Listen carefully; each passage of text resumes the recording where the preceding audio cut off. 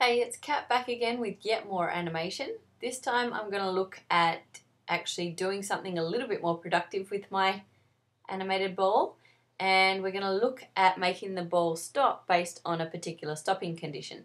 So in this case I've got a paddle or a swatter and what's going to happen if I click the ball then it's going to stop bouncing. Okay, so if I hit it it's going to stop. So let's look at some code that we could use to make that happen. Back to the boring names, I've got a new file called timer3. It's an exact copy of timer2 um, and now I'm going to start changing it. So obviously if I've got a little paddle that's following the mouse around, I need to have the mouse accessible. So I'm going to start by importing java.awt.event.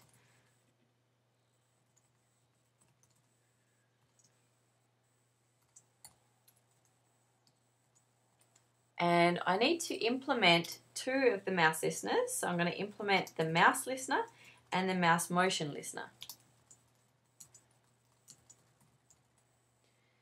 And this should generate an error because those two listeners, they actually need certain methods to exist in my class uh, to enable the program to run. So I'm going to hover over the name and say add unimplemented methods. If I scroll down, it should have added some methods down here. Okay, so I'm going to ignore those for the moment. I'm going to just collapse ball bounce because we're not making any changes there. We're actually also not going to make any changes. Oh no, we, we are going to make a change to init. We need to actually register those listeners. So we're going to say add mouse listener this and add mouse motion listener this. So we're just telling the program that it can listen for events. Just check your spelling on those, spelling and capitalization. Okay, uh, one of the other things that I'm going to do is I'm going to introduce a variable to keep track of the mouse. I'm going to also make it a, a an array like I did with the ball and I'm going to start it at 0, 0. Okay, the other thing I'm going to do is I'm going to introduce that paddle so first up, I'm just going to get the paddle to draw on the screen. What colour can we make this little guy? I'm going to go with green, I think. And so we're going to say g dot, what are we doing? We're filling a rectangle. And we're going to have it at mouse 0 minus 10. I'll explain in a moment and mouse 1 minus 10, we're going to make it 20 wide and 20 high. Now the reason that I've drawn it at the mouse position minus 10 for X and the Y is so that as the, the little paddle hovers, hovers around, the mouse cursor actually appears to be in the center of that as opposed to the top left of that. Um, you can make it so it's the top left and get rid of that minus 10 if you like, uh, but I think it looks a little bit neater where the cursor is the center of that paddle. Okay, so that's the only change that we're going to make to paint, so I'm going to hide that little guy. Um, and in terms of which of these mouse methods we're going to use, I'm going to ignore dragged, I am going to work with moved, and I am going to work with clicked. So I'm just going to move that little guy down here because I'm not going to use it. Now I need to use mouse move because I want the paddle to update its position every time I move the cursor. So I've gotten rid of that little override thing. I changed my mouse event to E and inside here I'm going to set mouse 0 to be equal to E dot get X and I'm going to do the same for the Y but obviously that's mouse 1. So remember that with the previous exercises, 0 was always an X and 1 was always a Y. And I'm going to repaint that. Now, provided I haven't forgotten anything, this should run and it should allow a little paddle to be moved around the screen. Okay, so there's my paddle, there's my ball, I can chase it. Um, obviously, I haven't done anything in response to the clicking or making it stop. But there's my paddle. So as you can see, the cursor appears in the middle of the paddle as opposed to the top left corner of it.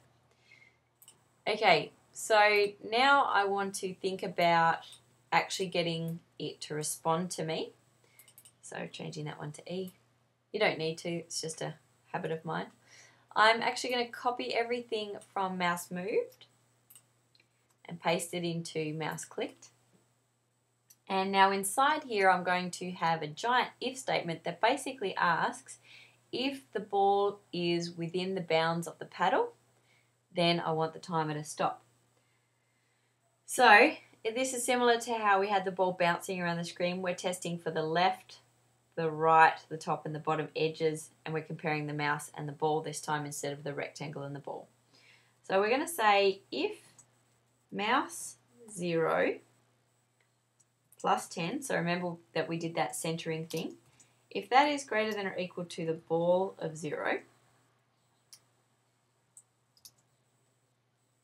and, so we're saying is it greater than this and less than this as well as greater than this and less than this for left, right, top, bottom. So it's got to be inside all of those for the statement to be true. So mouse 0 minus 10 less than or equal to the ball at 0. And remember that when we tested the right edge of the wall bouncing, we also needed to factor in the ball size. So we're going to add on the ball size there. What did we call it in this one? Ball underscore size. So that's the left and right. Now I'm going to copy that because I'm lazy and I'm going to replace the zeros with ones.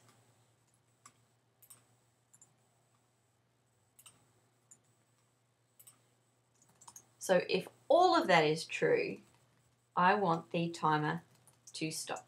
So I want animation to stop. Now let's hope I've typed that correctly. Let's test it out.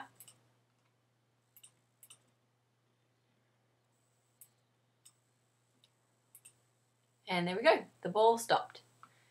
So if we run it again, any part of the paddle touching the ball should stop the ball.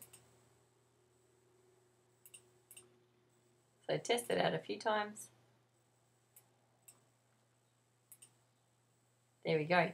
Now you could make this into a fun little game. I certainly uh, saw it earlier this year with a student that made the ball, rather than being a ball, he used a fly image and an ant image and a mosquito image and instead of the paddle being a green square, he used a little fly swatter image. And so the game was to squash all the little insects. So that's a basic game that you could use for this little program that we've done. Um, you could also use the principles that we've covered in here to uh, make a little game of Pong. So you could have a paddle across the bottom or on the side, and if the ball has hit the paddle, then it can bounce, and if it has not hit the paddle, if it's missed it, then it should stop the timer. Perhaps that's the next thing we should have a go at. Anyway, in the meantime, have fun with this animation.